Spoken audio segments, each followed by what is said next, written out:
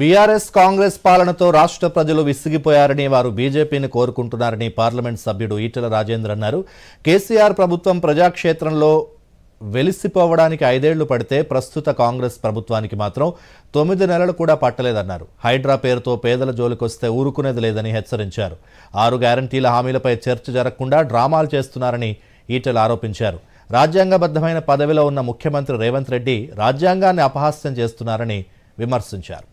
బిడ్డ వాళ్ళని చూసినాం నా వీళ్ళని చూసినాం ఇక ఎవరిని భరించడం సిద్ధంగా లేదు బిడ్డ మీరన్న కనీసం గట్టి కొట్లాడింది బిడ్డ అని చెప్పి నాలాంటి వాడిని బస్సులో తీసుకుపోయి అంటున్నారు.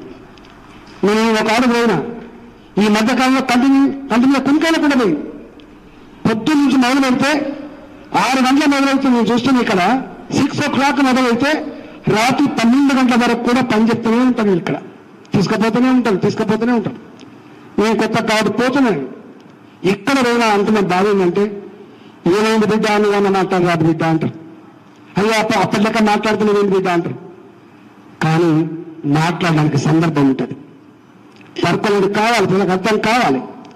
ప్రజలకు అర్థమన్నాడు ప్రజల హృదయాలు మండిన్నాడు నీ ఇంత ఉనిత్తది మా- అది నన్ను తప్ప లేకపోతే సలారిపోతుంది. అందుకని ఇవాళ ప్రజాక్షేత్రంలో ఈ పార్టీల పట్ల ఈ ప్రభుత్వ పట్ల సంపూర్ణంగా విశ్వాసం కోల్పోయిన పార్టీలుగా ఉన్నాయి. ఇవాళ తెలంగాణ మాత్రం సంపూర్ణమైన విశ్వాసం ఉన్న